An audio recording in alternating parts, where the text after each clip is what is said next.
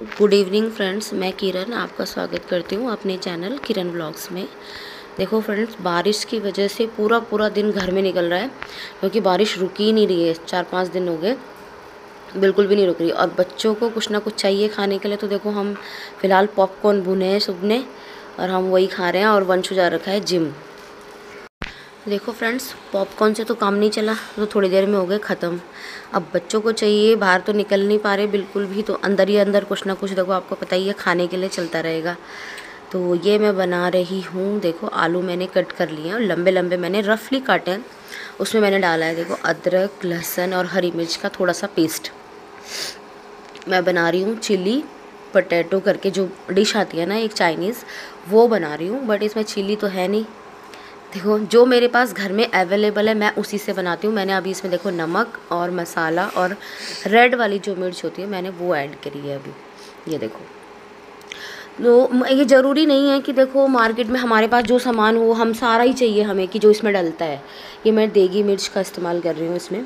तो जो मेरे पास घर में अवेलेबल रहता है, मैं ज़्यादातर उसी से बना देती हूँ। ऐसा कुछ नहीं है कि हमें इसके लिए स्पेशल जो जो इसमें डलता है, वो तो हमारे पास है नहीं तो हम तो इसको बनाएँगे नहीं। तो ऐसा नहीं हो सकता मतलब कुछ भी, जो हमारे पास सामान है वो डाल लो। और ये खाने में बिल्कुल सेम वैसा ही लगता है। जैसा इसमें जैसे कि शिमला मिर्च कट करके लंबे लंबे वो डलते हैं। और जैसे कि प्याज जो होते हैं ना, हरे प्याज तो उनको डालते हैं इसमें काट के। पत्ते नहीं, उसके जो बीच की डंठल सा होता है ना उसका, उनको बारीक बारीक चॉप करके उसको डालते हैं इसमें। तो देखो, अगर हमारे पास सब सामान नहीं होगा तो क्या हम उस चीज़ को बनाएँगे नहीं? तो इसलिए ऐसा कुछ नहीं है। जो सामान अपने घर में हो, देखो आगे आगे वैसे भी लॉकडाउन लगने के प्रोसेस चल रहे हैं तो जो चीज़ हमारे घर पे अवेलेबल हो, उसी से अपना काम चलाना चाहिए। ये मैंने डाला है इसमें। दो चम्मच कॉर्नफ्लोर डाला है और एक चम्मच मैंने मैदे का डाला है। और अभी मैं इसको अच्छे से मिक्स कर रही हूँ। मसाले के साथ भी मैंने पहले मिक्स किया और अब मैं इसको डाल के थोड़ा सा मिक्स कर रही हूँ ताकि जो आलू अपना मॉइस्चर छोड़ता है ना, वो ना मतलब इसमें कोट हो जाए। तो अगर हमें ज़रूरत पड़ेगी तो हम और डालेंगे, लेकिन अभी हम इसको पहले मिक्स करेंगे क्योंकि देखो मैदा और जो कॉर्नफ्लोर होता है ना, वो नीचे बैठ जाता है। तो अगर अभी ज़रूरत पड़ती है तो और डालेंगे बट पहले इसको अच्छे से हम मिक्स करेंगे, फिर देखेंगे कि हमें कितनी ज़रूरत और है तो उसके अकॉर्डिंग हम इसमें और डाल सकते हैं। देखो इस तरीके से बनाने से ना बच्चों की जो छोटी छोटी भूख होती है, उनको मज़ा भी आ जाता है और वो भी ख़त्म हो जाती है। और इन्जॉयमेंट भी होता है एक बारिश में जैसे पूरी फैमिली बैठी हो और ये सब चीज़ें कुछ ना कुछ मिलती रहे तो पकोड़े तो कॉमन हो जाते हैं तो कुछ नया ट्राई करने की आप भी ज़रूर ट्राई करें, कोशिश की है। अब हम इसको ना डीप फ्राई करेंगे तो इसके लिए ना हमारा जो तेल है वो बहुत तेज़ गर्म होना चाहिए, पहले तेज़ गर्म होना चाहिए और डालने के बाद हम उसको बिल्कुल लो कर देंगे। ताकि वो अच्छे से अंदर तक पक जाए, क्योंकि हमने आलू को बॉईल वगैरह कुछ नहीं किया है। बॉईल नहीं करते इसमें। पर यह है कि चौकोर चौकोर पीस काटते हैं। मैंने रफली चॉप किया है, जैसे नॉर्मल हम सब्ज़ी के लिए काट लेते हैं, मैंने वैसे ही किया। तो आप इसे किसी भी स्टाइल में काट सकते हैं, ऐसा नहीं है। चौकोर पीस भी बना सकते हैं आलू के। तो मैं इसको अभी डीप फ्राई करती हूँ। देखो फ्रेंड्स अब हम इनको अलट पलट करेंगे। और देखो कितनी बढ़िया जो फ्राई हो रही है ना, देखो ऊपर से इनका कलर कितना बढ़िया है। मसाले की जो कोटिंग है वो बहुत बढ़िया आई है। और घुमाने के हिसाब से आपको पता चल रहा होगा, देखो कितने कुरकुरे ये हो रहे हैं। ये देखो, अभी मैं इनको थोड़ा सा और घुमा रही हूँ, क्योंकि देखो गैस का फ्लेम बिल्कुल लो है, ताकि आलू अच्छे से गल जाए और फिर जब ये फ्राई हो जाएँगे तो मैं इनको निकाल लूँगी। बट अभी मुझे ऐसा लग रहा है कि थोड़ा इनमें कसर है तो मैं अभी पलट के छोड़ रही हूँ। और साइड में मैंने दूसरी कढ़ाई रख ली है, देखो गर्म होने के लिए। देखो फ्रेंड्स, मैं ना इसको अभी इसमें से ही तेल ले रही हूँ क्योंकि ये तेल मेरा काफ़ी गर्म है और नया तेल इसलिए यूज़ नहीं कर रही हूँ। यही वाला ख़त्म हो जाएगा, ये फ्राई वाला तेल है।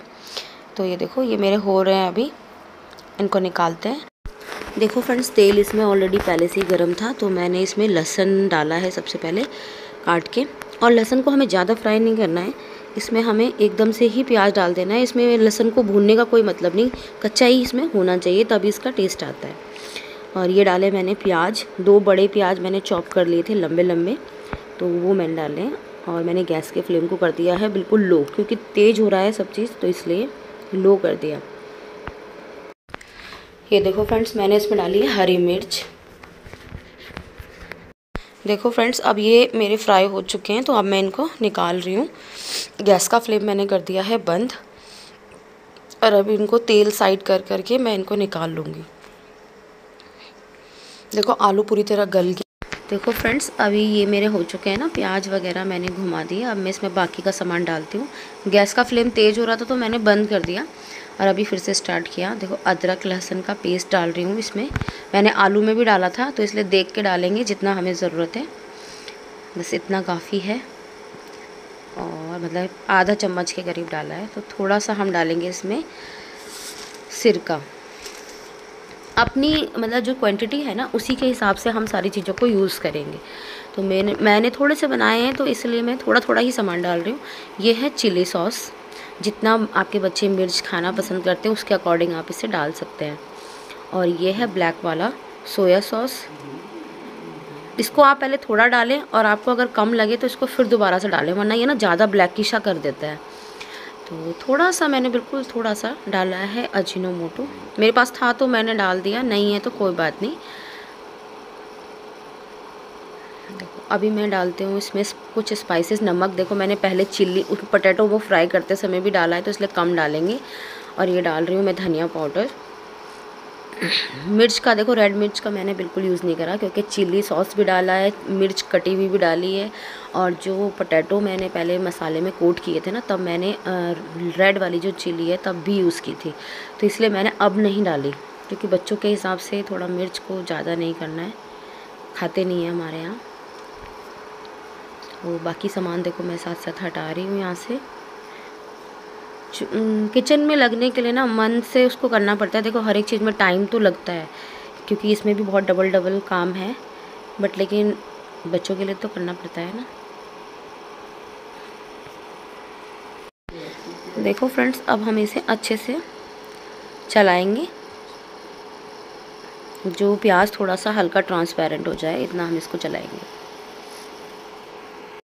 प्याज को इसमें ज़्यादा नहीं भूनना है। थोड़ा क्रंचीनेस उनमें रहनी चाहिए। तो हमें हल्के उसमें चलाते हुए अपने हिसाब से चेक करके भून देखो फ्रेंड्स अभी हमारे प्याज हो चुके हैं रेडी तो हमने इसमें अपने ये जो आलू हमने फ्राई किए थे ना, वो ऐड कर दिए हैं। और गैस का फ्लेम कर दिया है बिल्कुल लो और इनको अच्छे से घुमा के मिक्स कर लेंगे। ताकि हर जो सामान है वो इसमें, आपस में मिक्स हो जाए। उसकी कोटिंग इस पर ऐड हो जाए। और ये मैंने देखो एक चम्मच मैदा और एक चम्मच कॉर्नफ्लोर को पानी में घोल लिया था। तो ये मैं इसमें ऐड कर रही हूँ। थोड़ा सा पानी भी ऐड कर रही हूँ, देखो, हल्का सा एक दो चम्मच, बस। और अब इनको अच्छे से घुमाते हुए हम थोड़ी देर पकने देंगे। जो ये अभी हमने कॉर्नफ्लोर और मैदा डाला है ना तो इससे अच्छे से कोटिंग हो जाएगी। देखो फ्रेंड्स अब हम इसमें टमाटो केचप को ऐड कर रहे हैं।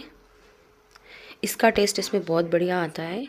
खट्टा मीठा टेस्ट है ना मतलब चाइनीज़ फ़ूड का यही एक वो है कि उसमें खट्टा मीठा टेस्ट होता है। ये देखो, इसको अच्छे से मैश कर देंगे गैस का फ्लेम बिल्कुल लो कर देंगे, थोड़ी देर इसको पकने देंगे, ये ऑलमोस्ट तैयार हो चुका है बन के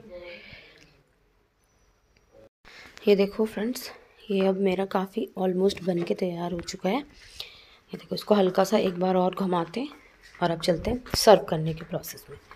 देखो फ्रेंड्स बच्चों की छोटी छोटी भूख को हटाने के लिए मैंने बनाया है चिली पटेटो पर ये मैंने बिल्कुल जैसे बनाते हैं वैसे नहीं बनाया। जो मेरे पास सामान अवेलेबल था, मैंने उसी से बना दिया। और अभी थोड़ी देर पहले बच्चों ने आपने देखा है वीडियो में, थोड़े से पॉपकॉर्न एक पैकेट भुना था, वो खाए। कुछ बारिश का मौसम है ना तो कुछ ना कुछ चाहिए। तो ये थोड़ा सा भूख मिटाने के लिए, देखो आपके साथ इसकी रेसिपी मैंने पूरी शेयर की है, जैसे मैंने बनाया है इसको ना। तो आपको कैसा लगा मुझे बताइएगा कमेंट करके और मेरी वीडियो को लाइक करके। अपने मेरे चैनल को सब्सक्राइब ज़रूर कीजिएगा। Okay bye